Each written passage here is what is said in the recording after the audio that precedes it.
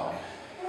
Euh, on va donner la parole à, Malek Kadraoui, donc euh, c'est un membre cofondateur du, site libre et indépendant alternatif en Tunisie, Nawat.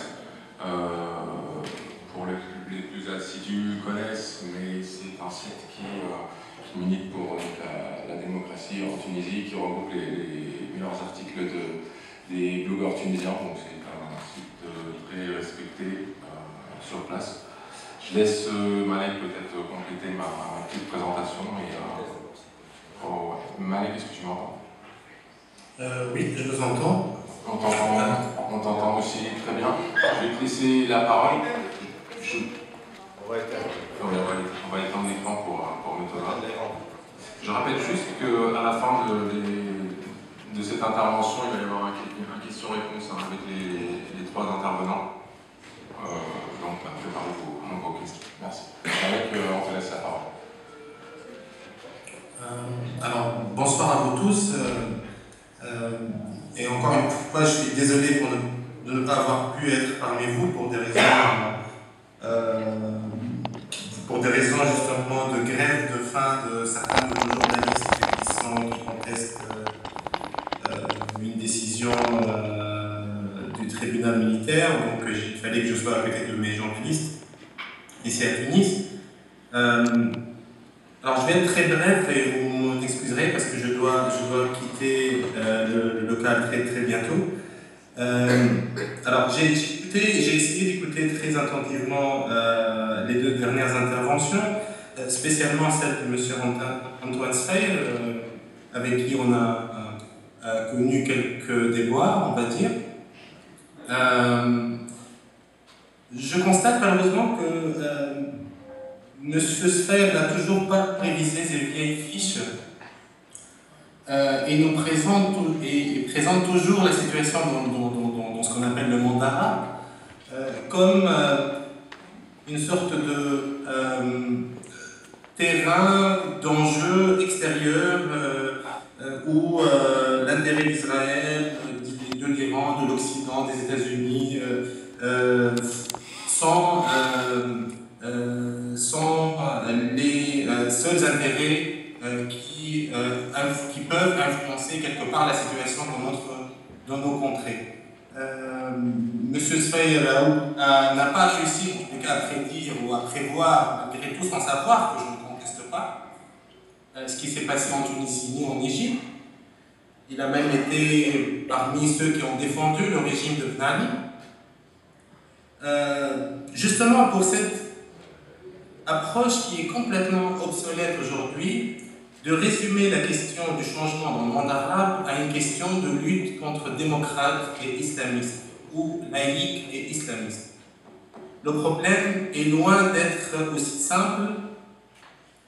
Euh, on a vu aujourd'hui, euh, même la gauche qu'on appelle la gauche euh, démocrate, qui a combattu le régime de Ben Ali, aujourd'hui n'a pas su ni renouveler son discours, ni séduire les masses. Euh, les islamistes, malgré leur victoire euh, euh, dernières élections, n'ont pas vraiment aussi réussi à séduire une large, en tous les cas une grande majorité de la population tunisienne. Je rappelle que plus de 60, près de 70% des Tunisiens n'ont pas voté pour le parti d'un euh, euh, chiffre qu'on oublie toujours de rappeler euh, en insistant sur la de la dernière élections. On est aujourd'hui en Tunisie dans une situation que j'appellerai pas une situation post-révolutionnaire, mais que j'appellerais plutôt une situation de révolution en cours. Parce que jusqu'à aujourd'hui, le système par lequel il a gouverné ce pays continue à exister. Euh, les institutions qu'il a, a réussi à renforcer euh, et, à, euh, et, à, certaines existent toujours. Le ministère de l'Intérieur reste une institution et un centre de pouvoir très important. L'administration connaît toujours à peu près les mêmes problèmes, la loi, la douane et toute autre forme d'administration. La nouveauté aujourd'hui, c'est qu'un nouvel acteur qui est rentré sur la scène politique est l'armée. Euh, l'armée qui n'avait pas presque pas de rôle politique dans le pays et qui, par son rôle qu'on a découvert, découvre plus en plus ambigu pendant les, les, émeutes qui ont poussé la Tunisie. Et aujourd'hui, on est presque certain que, certains éléments de l'armée tunisienne ont, participé euh, au euh, massacre euh, de la population et en une partie du sang des martyrs, de nos 300 martyrs en Tunisie. Donc, on est aujourd'hui dans une situation où on a un parti islamiste qui se dit modéré, qui se dit démocrate, qui veut s'inspirer du modèle turc après avoir été un, un et la création même euh, du wahhabisme saoudien. Mais, face à tout ça, on a une jeunesse, une population tunisienne qui peut être séduite par le conservatisme que propose ou le modèle occidental d'autres partis proposent, et en tout cas, refuse de revenir à une ancienne forme d'organisation de la société. Euh, la chose la plus importante à prendre en considération aujourd'hui, en Tunisie, euh, particulièrement en, Égypte, la situation est, un, peu différente, euh, c'est qu'on est dans, un pays qui est en train de renégocier son contrat social. Tous les acquis dont euh, parlent les spécialistes de la Tunisie, tous les acquis qui ont fait le, les éléments de propagande du régime de Ben Ali euh, ont été imposés euh, en Tunisie, que ce soit par Bourguiba, qui était un, missionnaire, certes, euh, qui a libéré la femme, qui a donné ses droits, l'égalité, des, avancées que l'Europe a mis, certains pays européens ont mis du temps même à, réaliser. Ben Ali a, renforcé certains de ces, aspects-là de, la société, mais ça s'est toujours fait de haut en bas, sans aucune concertation, et toujours comme un cadeau de pouvoir euh, à, la population ou aux citoyens. Aucune négociation, aucun débat de société n'a été euh, permis euh, dans le pays depuis plus de 60 ans, et tout ce qui a été considéré aujourd'hui comme un acquis a été par la force ou au mieux par certaines euh, volonté plutôt politique que volonté politique ou citoyenne. Donc aujourd'hui, le vrai débat dans, notre, pays est un débat de, savoir quel est le contrat social, le nouveau lien qui va lier les Tunisiens. Alors, autant, en tant que, en tant que pour le laïc, et, et bien sûr, je, je m'inquiète de certains aspects, euh, de certains discours dans le pays Malek, Malek la, la, la, connexion passe mal, on n'entend pas, on se croirait dans des tubes, donc on va, on va couper et relancer. Ok? Ok.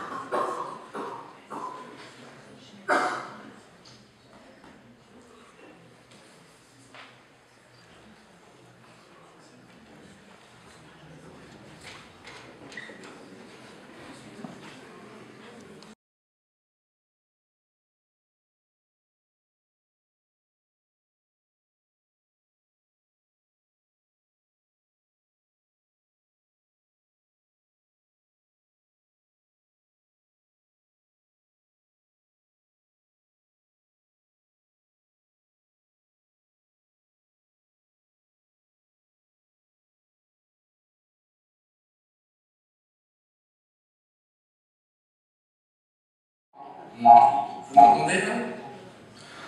On t'entend, mais on dirait qu'il y a un chien dans ton appartement. Ah, je suis désolé. mais c'est bon, continue. Donc voilà, je, pour revenir à ce que je, disais, donc on est en pleine euh, négociation d'un nouvel ordre en fait, de société, d'un nouveau contrat social, euh, dans un climat qu'on ne peut pas dire euh, adéquat ou idéal, en tous les cas, pour cette nouvelle, euh, pour ces négociations ou ce débat de société. en plus des enjeux et de la géopolitique internationale, bien sûr, on a deux gros voisins qui ne sont pas ce qu'on pourrait dire des exemples de ce qu'une jeune démocratie ou un pays en voie de démocratisation euh, peut avoir.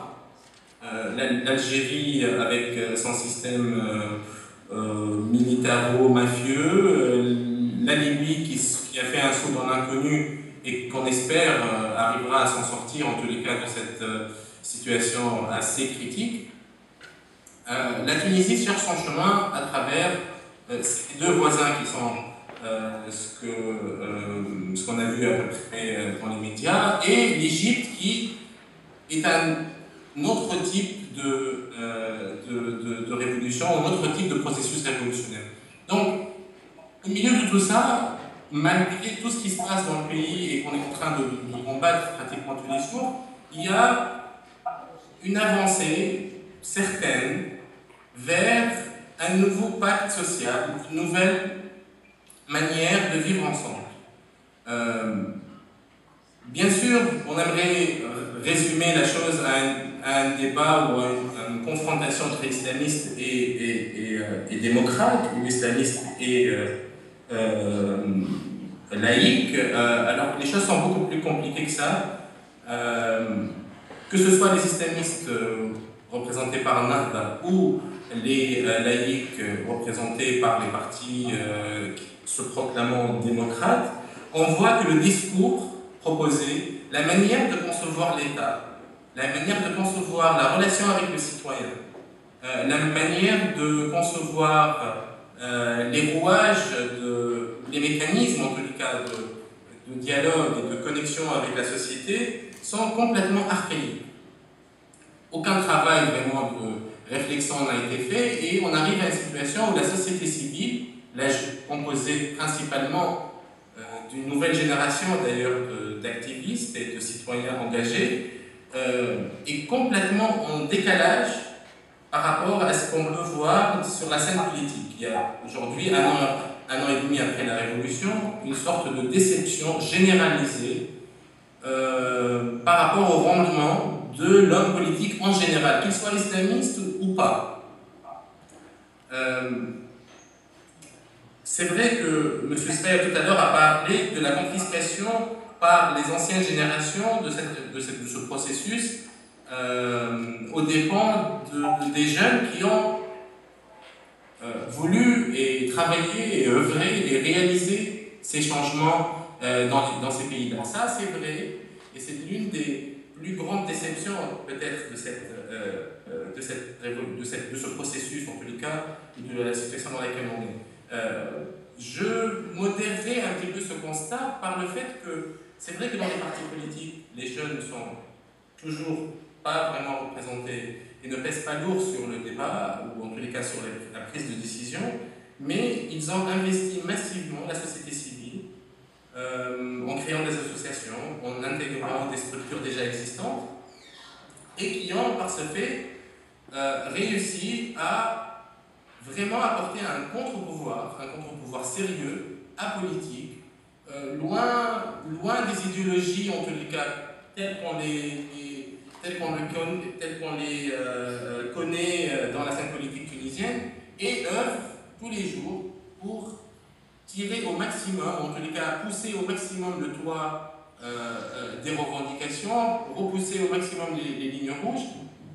On le voit sur le travail qui est fait par la société civile sur le contrôle des travaux de la constituante, sur le discours politique lui-même, qui est commenté aujourd'hui, violemment critiqué, et on voit des reculades, des prises en compte justement de euh, ce travail euh, quotidien de la société civile.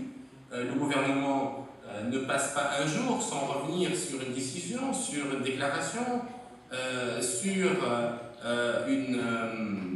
un écart d'un de ses ministres ou de ses responsables. le parti Nada, bien que assez ancré dans les couches populaires, n'arrive toujours pas, en tous les cas, à passer en force, ni dans la, ni dans la constituante, ni au gouvernement. Tous les jours, on voit le gouvernement euh, le parti NAP aussi reculer sur des choses, sur des décisions, sur euh, des approches euh, de cette situation-là.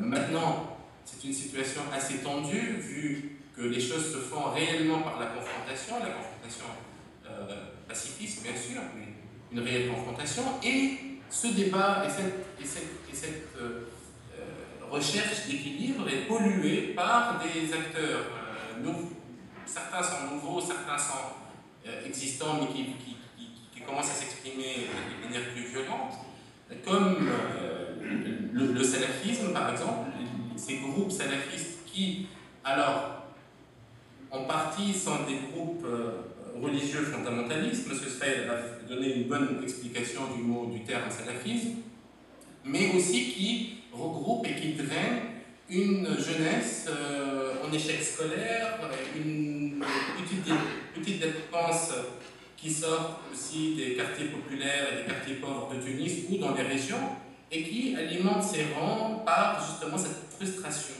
euh, et cette injustice sociale qui a, euh, qui a toujours existé. D'ailleurs, en Tunisie, les chiffres ne le montraient pas, mais euh, les, vrais observateurs et les vrais connaisseurs de la situation en Tunisie savaient qu'il y avait un vrai problème social.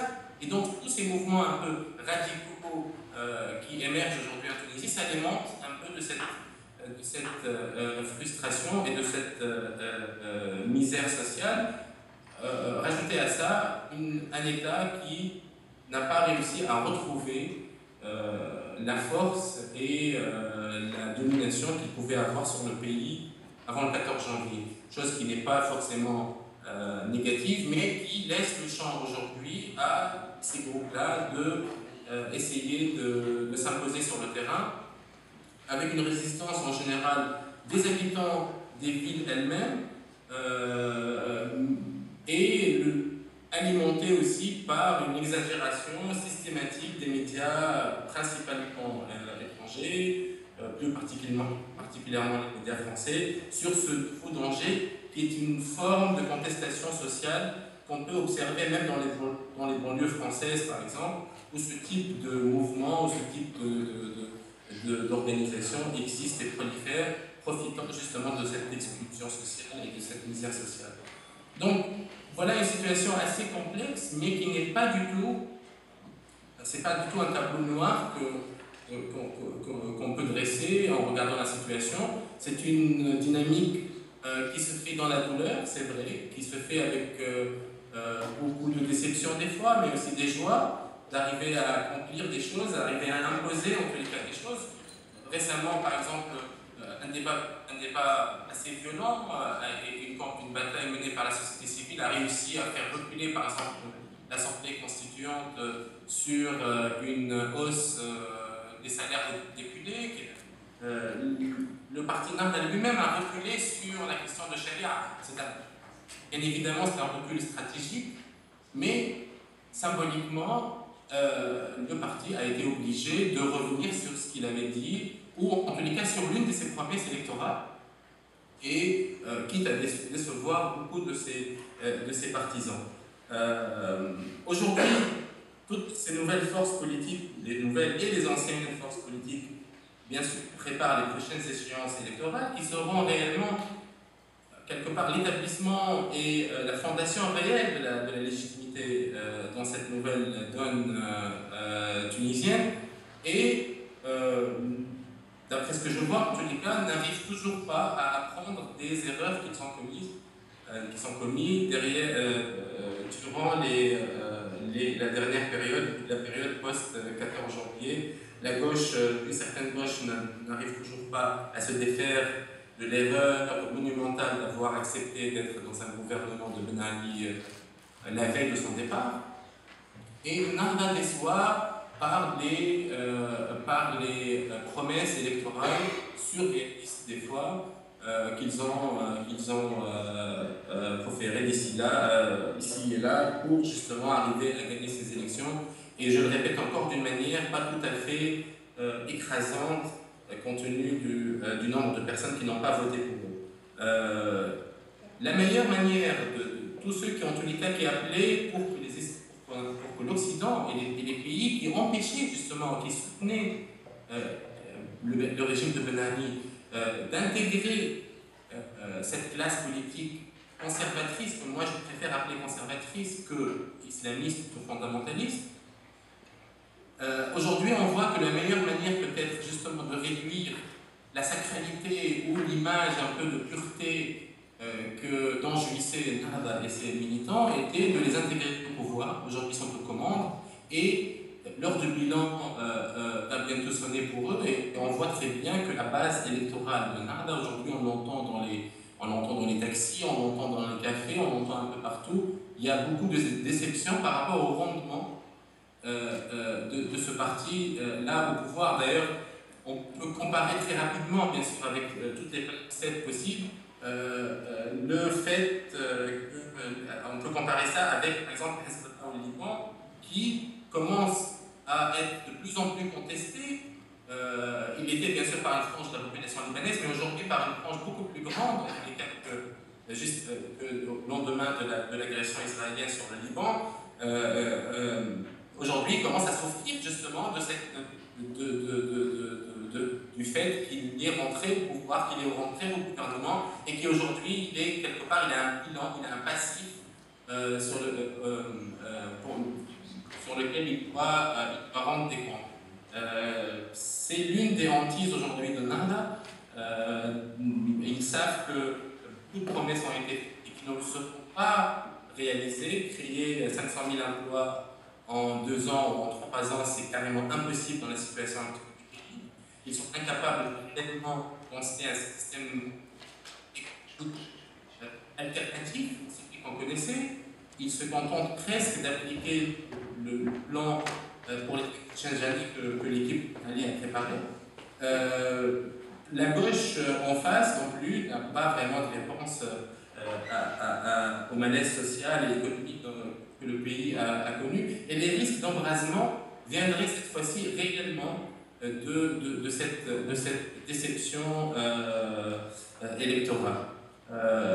malheureusement, comme je disais, vu que la classe politique et l'homme politique en général aujourd'hui souffrent d'une image désastreuse dans le pays, euh, de plus en plus de gens se, retournent vers la société civile, ce qui est une chose bien sûr positive, mais sur un plan politique, sur un plan justement de, de, gouvernance pays, de, de, système politique, on est face à, un désamour et une déception qui risque un peu de, teindre, sur, de déteindre plutôt sur sur la démocratie elle-même, cette démocratie naissante en Tunisie. Et c'est vraiment là le vrai risque aujourd'hui, parce qu'on commence par exemple à entendre des personnes regretter le temps de notre pays, euh, regretter euh, l'ordre qui régnait dans le pays, regretter cette, euh, cette apparence de réussite économique sociale.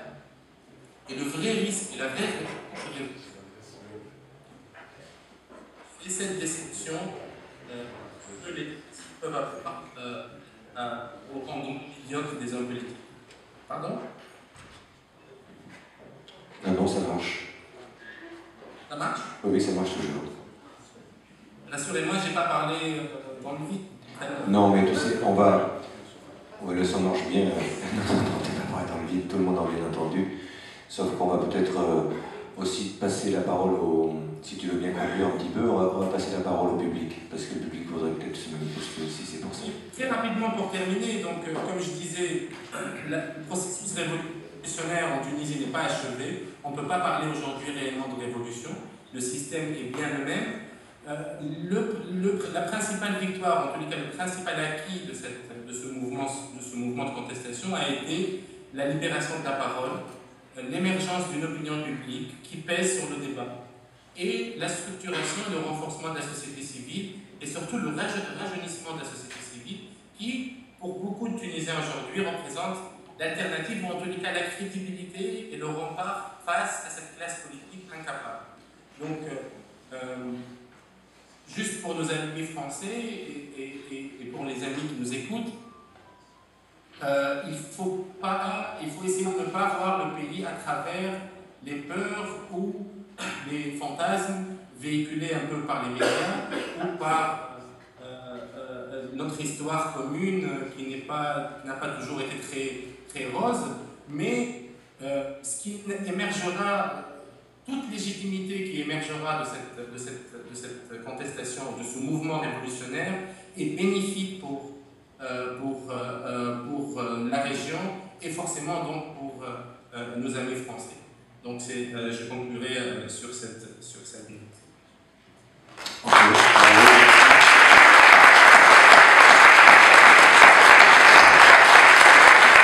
Donc, on vous l'a annoncé, oui, vous, je vois des gens qui lèvent les mains, oui, attendez.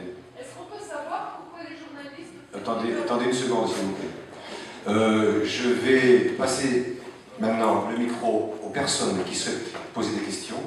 Et ces questions en premier seront posées à Malek parce qu'il doit forcément euh, quitter euh, le plateau. Enfin, en tout cas, nous quitter. Voilà, le micro, tu le, tu le prends. Donc, des questions qui sont liées peut-être à ce qu'il vient de dire lui.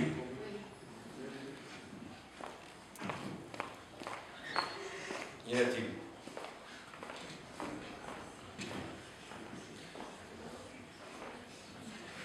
Merci. Tu vas avoir une question. Euh, Est-ce qu'on peut savoir euh, ce par quoi vous avez commencé? Pourquoi les journalistes font une grève de la faim actuellement?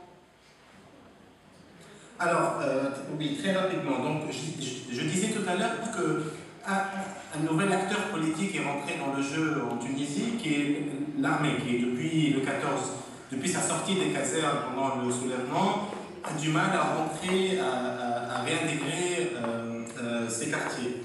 Donc aujourd'hui, on a euh, le dossier des martyrs et des blessés de la Révolution. Le jugement de ces dossiers-là a été confié au tribunal militaire.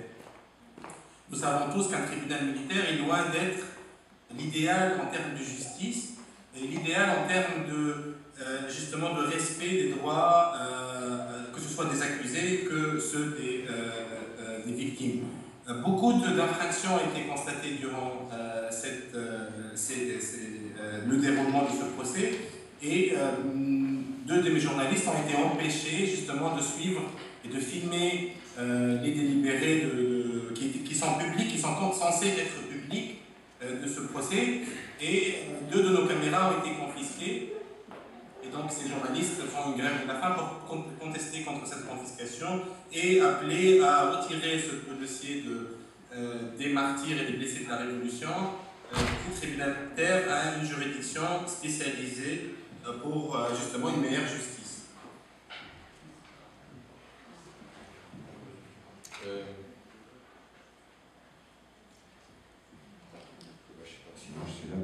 Donc, euh, y a-t-il encore des questions pour, euh, pour Mike ou pas? Ok. Donc, on va passer directement aux questions avec toi. Tu veux. Je vais te passer ce micro ou alors, qu'est-ce que tu peux le donner à. Vas-y.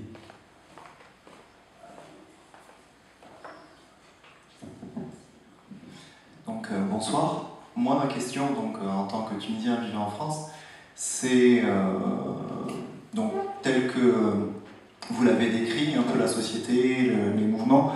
Est-ce que vous êtes optimiste pour, pour l'avenir en fait? Et qu'est-ce qui serait en fait le mieux à faire pour pousser cette révolution?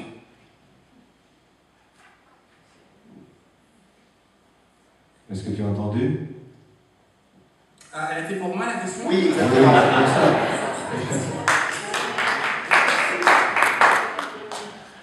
euh, optimiste, je suis raisonnablement optimiste. Euh, Nawet existe depuis 2004 et mon engagement depuis au moins l'année 2000.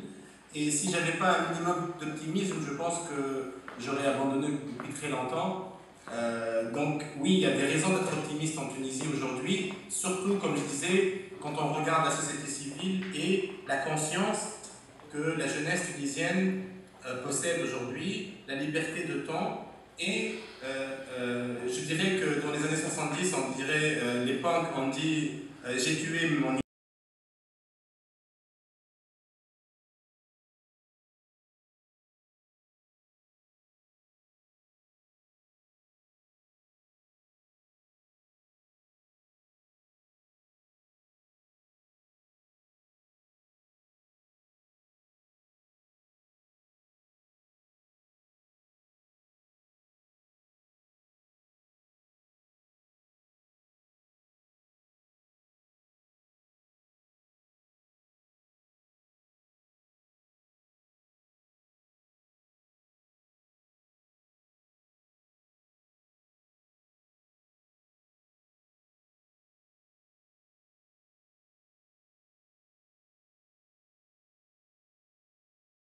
révolution, ou sur le processus révolutionnaire, ça a été de, se prendre quelque part en main.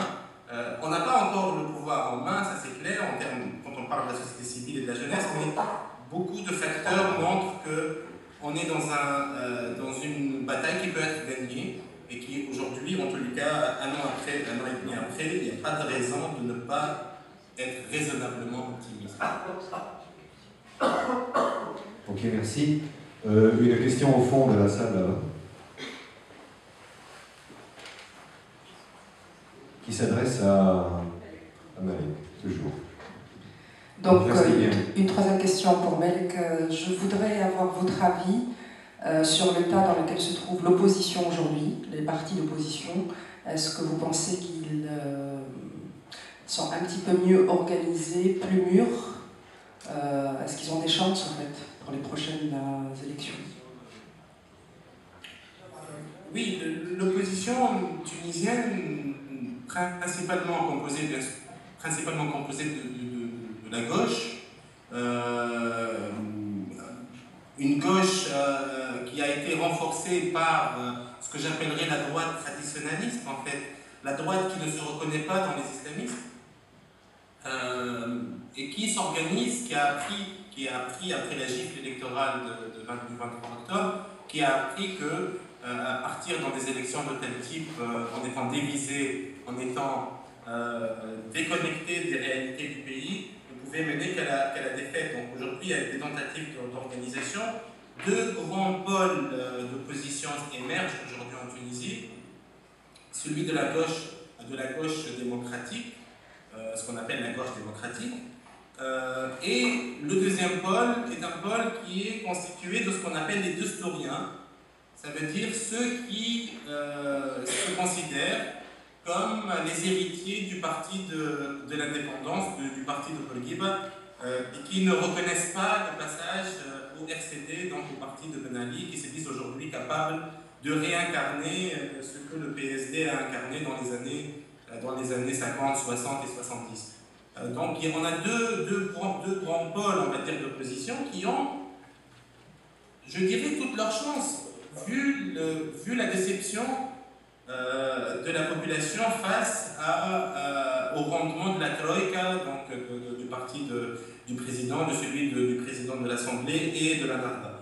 Euh, maintenant, le discours, le, le problème c'est le discours, c'est-à-dire il y a un vrai besoin d'alternative en Tunisie, beaucoup de Tunisiens ont eu l'impression d'avoir mal voté, d'avoir voté pour, euh, euh, pour un parti qui n'est pas vraiment capable d'honorer ses, ses, engagements, mais euh, ça dépendra réellement de, du, du, programme et de l'axe justement sur lequel cette opposition va axer sa campagne. Si, si la campagne va être menée sur justement la laïcité, sur, le, sur ce qu'on considère en Tunisie un peu le la reproduction de du modèle occidental, c'est clair qu'ils auront une deuxième défaite électorale, et ça c'est presque certain. Alors, si la gauche aujourd'hui arrive justement à cristalliser cette euh, contestation sociale qui est de plus en plus forte en Tunisie, et à la limite, elle, serait la, mieux placée pour la représenter et pour la concrétiser, la cristalliser. Elle a toutes ses chances. C'est une question de discours. Alors, les partis s'organisent, ils sont moins divisés aujourd'hui. Maintenant, euh, on va voir s'ils arriveront à euh, reformuler un discours qui arrivera à convaincre les Tunisiens euh, qu'il y a une alternative à cette troïka. Bien, bien, merci. Merci, Alec. Donc, à présent, y a-t-il des questions qui peuvent s'adresser à Antoine Sfer ou l'étranger Moi, c'est Malek encore. C'est encore Malek, d'accord. Bon, alors, il ne partira pas finalement. bonjour, Salim Malek, Mohamed, tunisien aussi. Je voulais avoir des renseignements par rapport à tes journalistes et surtout savoir si l'État aujourd'hui était venu vers vous ou un représentant pour savoir vraiment aujourd'hui l'appel de tes journalistes, à savoir qu'ils font la grève de la faim. Est-ce que l'État aujourd'hui s'inquiète ou laisse euh, à mi-mesure euh, cette phase qu'ils sont en train d'exprimer, qui sont en train de dire qu'aujourd'hui il y a des gros soucis mais que personne ne veut ouvrir les yeux et regarder Alec, juste avant que tu répondes, excuse-moi, on va faire des questions courtes et des réponses courtes parce que nous sommes tenus par une autre suite à ce que nous présentons à la conférence. Il y a, des musiciens là-bas qui nous attendent aussi. Je vais répondre, très, très rapidement.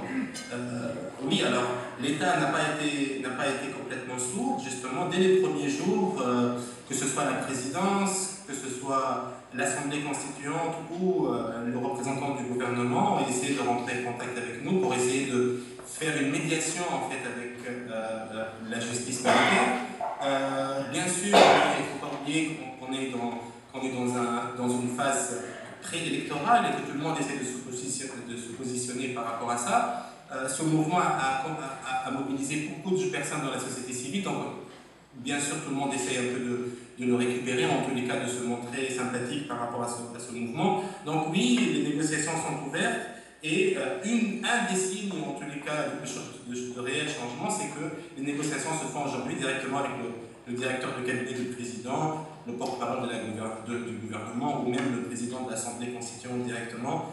Euh, donc euh, oui, il y a des négociations. Maintenant, vu que la bataille est une bataille de principe, n'est pas seulement une bataille de caméras pour récupérer des caméras, on essaie de mettre tout le monde autour d'une table pour s'engager pour une réflexion sérieuse sur l'avenir de la justice transitionnelle en Tunisie. Bien. Y a-t-il un nouveau? Oui, d'autres questions euh, bonsoir, une question pour M. Antoine Sfer. Euh, donc vous avez conclu votre intervention par une invitation très pertinente pour euh, repenser le tourisme, donc, notamment via les échanges universitaires, d'un tourisme de masse vers un tourisme intelligent. comment vous, en tant que personnalité de renommée internationale, vous pouvez apaiser les esprits des Occidentaux euh, par rapport à ces menaces euh, islamistes, donc ces menaces qui sont plus un fantasme médiatique, comment vous pouvez apaiser les esprits objectivement pour renouer avec euh, les Occidentaux et renouer avec le tourisme? Merci. Je l'ai dit également en conclusion, si vous vous en souvenez, en disant que plus les islamistes se frottent au pouvoir, plus ils perdent de leur aura qu'ils ont eu en partie de répression longue dans le temps et d'un ancrage qui s'est fait essentiellement euh, dans la campagne et les quartiers populaires des villes, notamment les, euh, les ceintures de misère pour les. Et donc, bien entendu, qu'ils ont recueilli euh, tout cela aux premières élections, mais plus ils se frotteront au pouvoir, plus ils seront jugés sur les actes ou sur les non-actes. Ce n'est pas cela qui sont. Euh, c'est pas ça Il n'y a pas de menace au-delà de cela. En revanche, si demain il y a un véritable, comme il y en a eu euh, en Iran ou ailleurs, coup d'État à l'intérieur de la révolution, c'est-à-dire que les islamistes décident désormais d'annuler les élections, etc., ce qu'ils ne peuvent pas faire en, Tunisie pour des raisons évidentes objectives, ce qu'ils ne peuvent pas faire en Égypte pour des raisons euh, également évident objectif, notamment la présence d'une armée qui le du régime, il, qui aurait pu être fait peut-être euh, au Yémen euh, à un moment donné s'il y avait plus de militants d'islam qui étaient descendus dans, dans, la rue. Il est certain aujourd'hui qu'il n'y a pas de menace tant qu'ils se font au pouvoir. La meilleure façon de leur faire perdre les suffrages, c'est qu'ils participent au gouvernement. Et vous avez donné l'exemple du Hezbollah au Liban, c'est exactement aussi en partie pour cela. Merci. Est-ce qu'il y a... Oui, je crois que Malek va partir, donc euh, peut-il certainement nous dire au revoir. Donc, euh, un dernier mot de toi, Malek, euh, de Tunis. Oui, alors pour, le dernier mot, déjà je vous remercie euh, encore une fois pour, cette invitation. Euh, j'ai l'impression qu'il y a beaucoup de Tunisiens euh, de France qui, sont, qui assistent à cette, conférence et, je voudrais leur rappeler le rôle que la diaspora tunisienne a joué. Moi-même étant, étant de cette diaspora, j'ai vécu 15 ans en France, donc ils sont tunisiens comme, comme comme nous tous, et leur rôle dans ce qui se passe aujourd'hui est fondamental. Euh, on a 10% de notre population à l'extérieur du pays et ils doivent prendre conscience de leur rôle aujourd'hui dans ce qui se fait euh, en Tunisie. Merci à toi.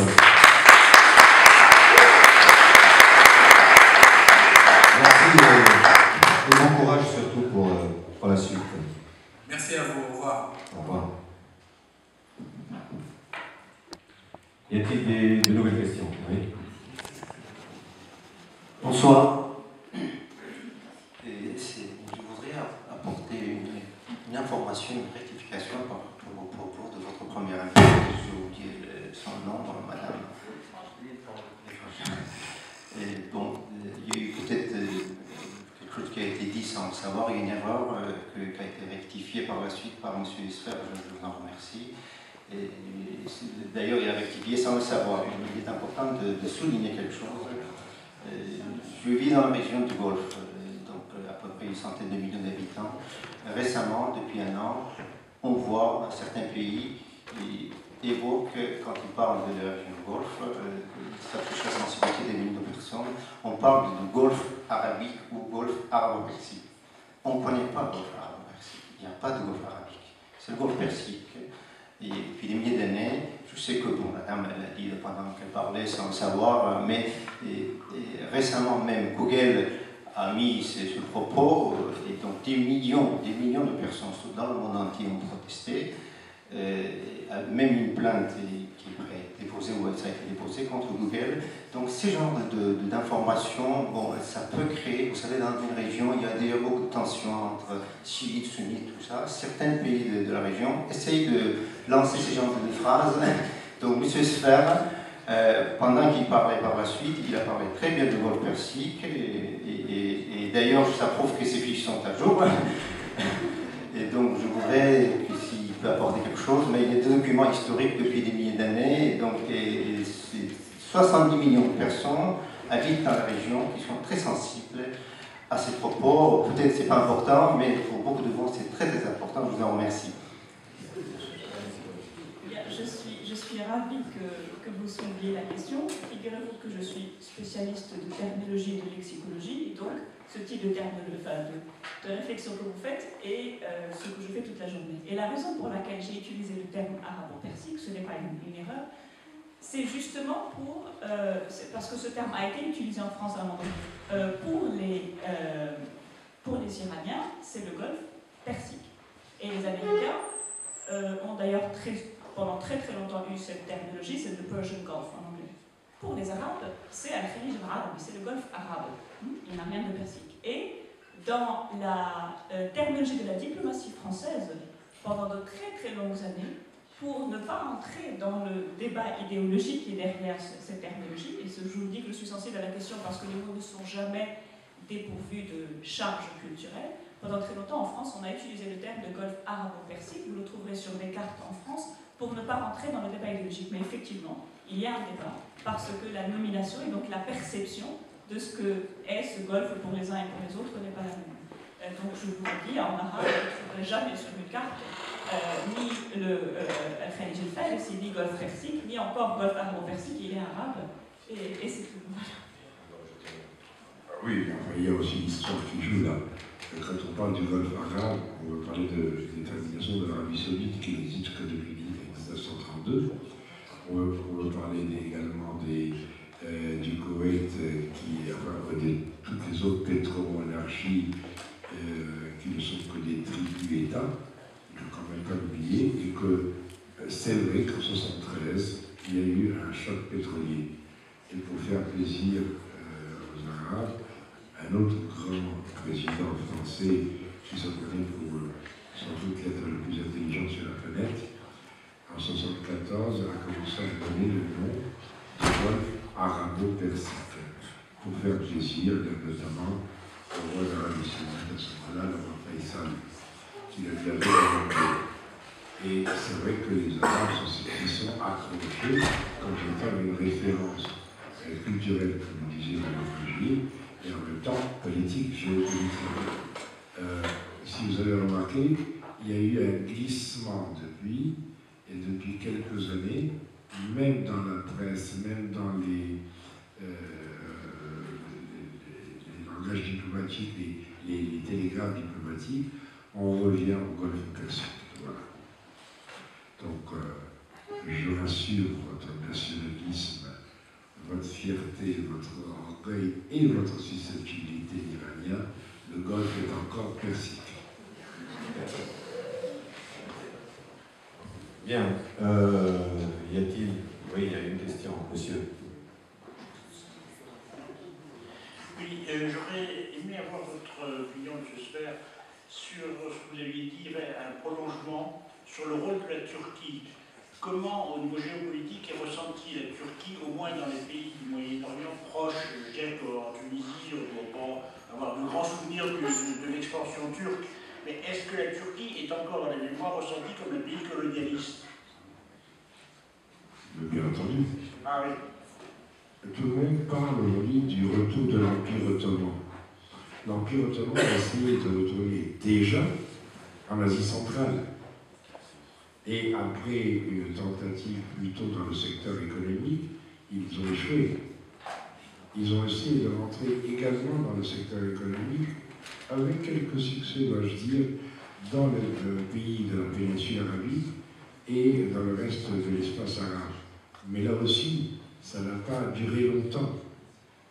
Mais quand M. Orbán a voulu se poser en modèle, bien entendu, euh, il y a eu euh, une sorte de, rejet, dans la mesure où précisément lui parlait à partir d'une tribune constitutionnelle où la laïcité existait. Maintenant, il y a la, volonté de la Turquie de rentrer en Europe, qui, euh, là aussi, disons, est une tentation pour les gens, les pays de la région, d'imiter, ou du moins de commencer par des, euh, accords essentiellement douaniers, euh, bilatéraux avec euh, les pays européens, l'Union européenne. Le problème, c'est que la Turquie est en train de taper à une porte et en ne reconnaissant pas un membre de la famille. comment la Turquie peut-elle prétendre entrer en Europe tant qu'elle ignore la République chypriote? Il y a ensuite d'autres considérations, je veux dire, morales. Moi, j'étais très, très touché, très fier euh, d'avoir choisi la France. Le jour en 1995, le chef de l'État a reconnu la continuité euh, entre l'État français et la République française. Euh, cette volonté d'assumer toute l'histoire du pays ou de la nation à laquelle on appartient, elle ne peut que grandir la nation. Et le, troisième élément qui est vraiment l'élément moral, euh, je ne vois pas comment les Turcs peuvent se prétendre les héritiers de l'Empire ottoman sans reconnaître le génocide arménien. Il y a une contradiction euh, essentielle dans leur démarche euh, pour permettre à ces Arméniens de retrouver leur mémoire, de faire leur deuil également, si tant est qu'on peut réellement faire son deuil, et en même temps euh, d'accepter euh, au moins de, reconnaître et de réparer, autant que faire se peut. Il y avait également le rôle colonial. Oui, mais alors, précisément, quand les gens disent ou disaient que euh, les Arabes aimeraient le retour de l'Empire ottoman, c'est pas vrai du tout. C'est pas vrai du tout que ce soit dans les monts du Taurus ou en Afrique du Nord, que ce soit euh, sur les bords de la Méditerranée, personne n'a envie de retrouver les baies, les hagas et, le reste. Bien, encore une question peut-être, sinon nous allons passer au divertissement. Dans le divertissement, je vous propose, oui, une autre question Oui Non, c'est juste pour faire intervenir M. Hervé Pengo, qui est le directeur ah de l'université. Oui, c'est vrai, peut-être que qui nous honore de sa présence. Oui, parce que c'est un peu grâce à lui que, que nous sommes là. Donc, euh, Et nous remercions M. Pingo qui, euh, qui, a eu la gentillesse de nous, euh, de nous laisser, entre guillemets, faire cette intervention ici.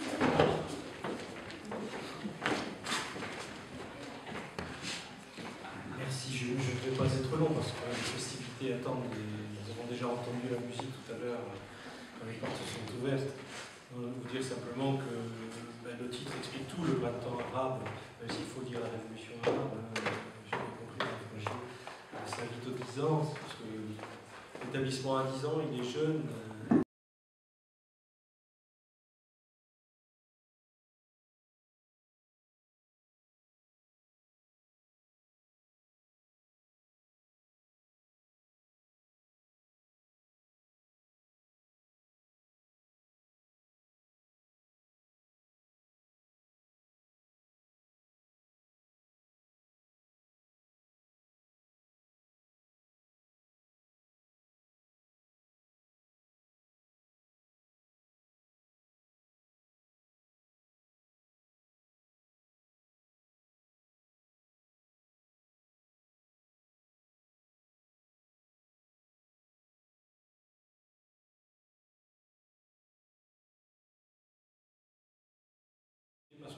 Fondamentale dans un, établissement qui, veut véhiculer la connaissance, que, d'avoir euh, cette attitude. Alors, euh, moi, je voudrais féliciter d'abord euh, Jasmin Tunisie, Liberté, Démocratie, pour la qualité du programme de ce soir, son intelligence, parce que je crois que les images ont montré aussi beaucoup de choses. Nous avons, nous avons compris beaucoup des propos qu'on suivi, que ce soit sur l'analyse intrinsèque, que ce soit sur, sur l'analyse de contexte, euh, par l'extérieur ou à travers l'intervention de M. Sur, une analyse plutôt interne du problème, différents, différents éclairages de, la révolution. Voilà. Alors si nous avons aussi fait euh, cet événement, c'est parce que euh, certains d'entre nous ont vécu, cette, cette, révolution, cet, événement en Tunisie du 14 janvier et de ce qui a suivi euh, de façon un peu particulière. je, je dresse un salut très amical aux collègues tunisiens de l'Université Champollion, euh, dont je sais qu'ils ont été euh, extrêmement enthousiastes dès, les premières minutes après l'annonce du départ du, président Ben Ali. je savais que les, SMS crépitaient. On a échangé des choses sur, ce, formidable élan vers, vers les libertés, vers cette expression collective d'un aveu de démocratie qui partait, c'est une forme de modernité, hein, d'une vraie démocratie participative, et qui cherche maintenant euh, ses marques pour aller vers une démocratie représentative, alors que nous, parfois, nous sommes plutôt dans une démarche inverse. Étant bien assis sur notre représentativité, on, cherche parfois l'expression euh, d'une démocratie participative, qui a d'ailleurs été légiférée en France, mais qui a du mal à se mettre en place. Vous voyez, donc, euh, finalement, on n'est pas simplement observateur, je crois qu'on est intégré dans un système qu'on ne vit pas forcément dans le même sens en matière de processus, mais, que, les aspirations restent globalement toujours les mêmes, ce sont celles des libertés, de la démocratie, euh, de la réalisation des espoirs des uns et des autres. Voilà. Alors je, l'ai vécu aussi un peu, spécialement parce que ma fille qui est présente, la chère de ma chère, était aussi en Tunisie à cette époque. Et puis, le, 15 janvier, c'était les 50 ans, et puis on n'a pas pu euh, échanger parce qu'elle était mise à l'écart par l'ambassade par, un devoir de réserve. Et ça a duré plusieurs jours, donc elle a disparu pour moi des téléspectateurs et ça va rester marqué euh, très longtemps dans mon esprit. Voilà, je, l'ai parce que, parce que j'ai voulu la faire rapatrier ensuite. Elle, faisait ses études, elle fait ses études à Sciences Po et elle faisait son stage là-bas pendant un an. J'ai voulu la faire rapatrier parce que le père est toujours inquiet. Et elle m'a dit Je ne veux pas revenir, je veux vivre cette démocratie. Je veux vivre cette révolution là-bas. C'est un stage en sciences politiques fantastique. Voilà, je vous la salue. Euh, je ne suis pas plus long. Voilà, on a vu quelques, pages d'histoire immédiate, quelques pages d'histoire immédiate, et je propose que l'histoire immédiate continue par des festivités. merci à tous.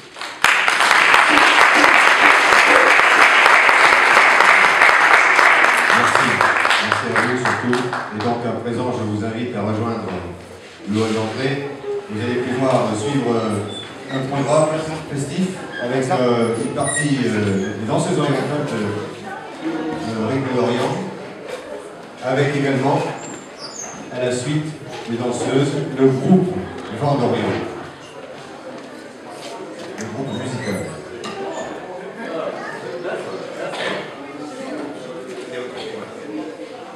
Cher directeur, merci.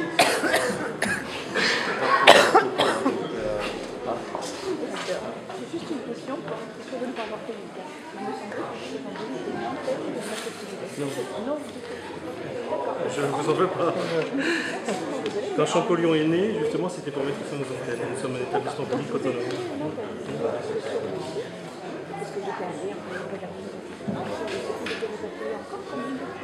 Celle de l'UTM À UTM peut-être, mais si vous regardez le site de UFR, il ne le dit pas. Ah. Nous sommes un établissement public administratif. Nous sommes de Par contre, bon, non, je ne formalise pas du tout. Mais alors, ouais, Nous sommes par contre en partenariat, en partenariat- nous sommes en partenariat très fort. Il y a 10 ans. Et on ne veut pas y arriver. Nous faisons l'université de Toulouse maintenant, nous sommes dans la presse. Donc vous êtes en presse Donc nous ne sommes pas université au sens plein, puisque nous n'avons pas le statut juridique de, de PSCP. Donc quand on, veut, quand on veut développer notre offre de formation, on passe par l'université de Toulouse, qui monte, qui monte nos dossiers.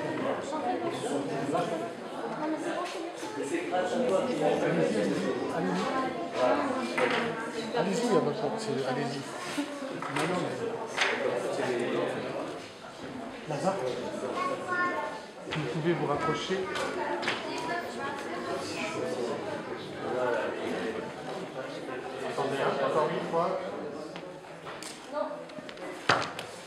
Il faut, toute l'association.